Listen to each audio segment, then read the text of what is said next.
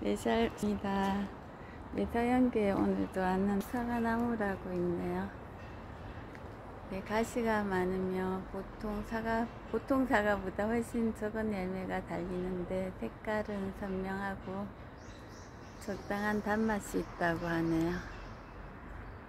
네, 경기도 처음에 군포에 살 때 꽃사과를 처음 봤는데 그때 다 기하고 기에서 꽃사과를 막 먹었던 기억이 있습니다. 사과는 안 달렸네요. 어, 달렸는데 파란색인 것 같습니다.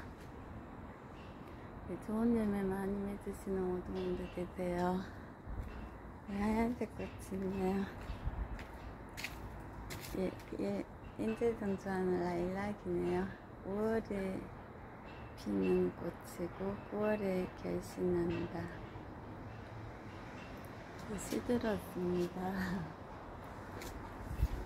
아, 옆에도 꽃이 많네요. 하얀색 이 나무를 알면 좋겠네요. 네, 하얀색 나무 아시는 분 가르쳐 주세요. 네, 소나무네요. 예쁜 꽃입니다. 네, 예쁜 꽃이 있네요. 어, 이 꽃 이름도 알고 싶네요.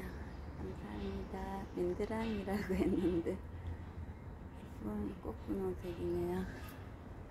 네, 하얀색 꽃이 많은 나무가 많은데 알고 싶네요. 네, 오늘도 멋진 서연기에 자랐습니다. 와, 하늘도 너무 예쁘네요. 캡처해야 되겠네요. 네, 하늘이 너무 멋지네요. 서연기에 자랐습니다. 네, 인제선 서연기에 자랐습니다. 보이는 교육관에서 교육관 9층에서 공부하다가 갈게요.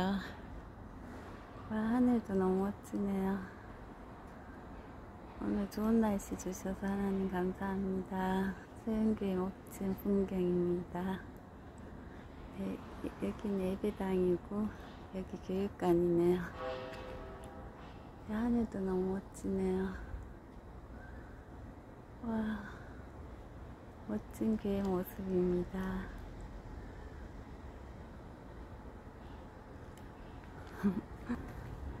네, 오늘도 교회 와서 예배, 토요 포럼 잘하고 갈게요. 감사합니다.